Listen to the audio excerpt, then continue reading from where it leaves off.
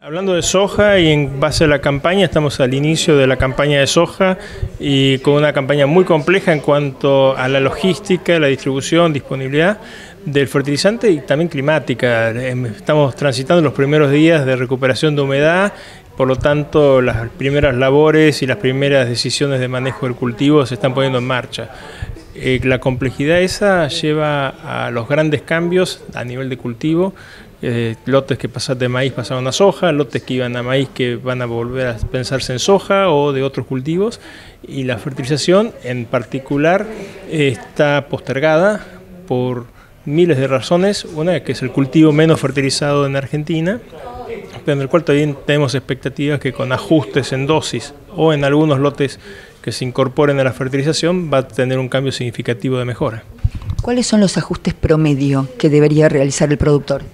Tenemos dos clases de análisis para esta información. Primero, reconocemos que Argentina en el área sojera tiene más del 70% de sitios, lotes, puntos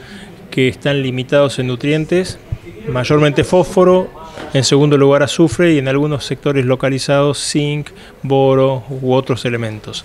Entonces hay en, en ese contexto nada más que el 40% de usuarios, de productores incorporan fertilizante y lo hacen en una dosis a nivel de cantidad de fósforo insuficiente para máximos rendimientos, pero suficiente para mejorarlos. Están mejorando en promedio cercano al 8-10% de la producción, cuando podría llegarse entre el 15 y el 20%. Hay una oportunidad de mejora si ajustan un poco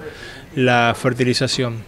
que hacen hoy hay un 60% de lotes que no reciben fertilizante, muchos de estos con un diagnóstico,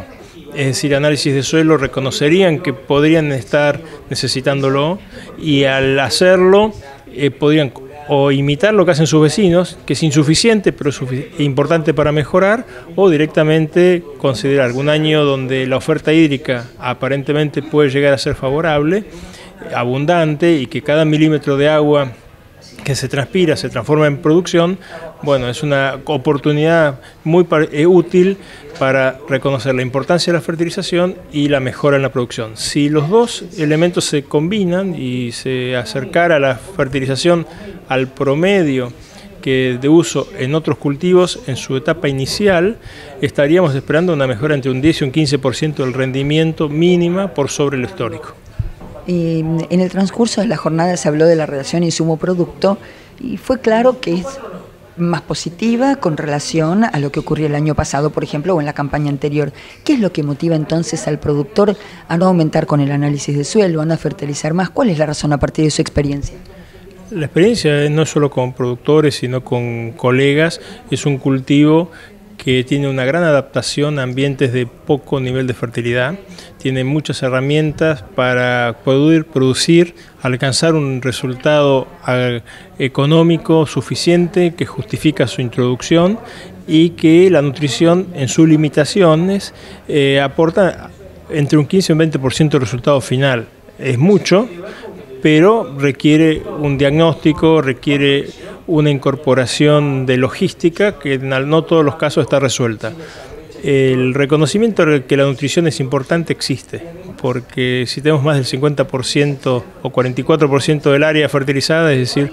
uno de cada dos lotes saben que hace falta eh, nutrientes para producir. El reconocimiento de las respuestas también, porque la dosis de fertilizante de piso es, un 30% inferior que la conveniente para un resultado promedio, pero está bastante cerca.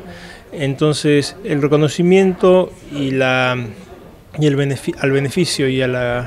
limitaciones existen. Lo que hoy faltaría es ajustar más logística y esa logística es sembradoras capaces de incorporar el fertilizante y cadenas de,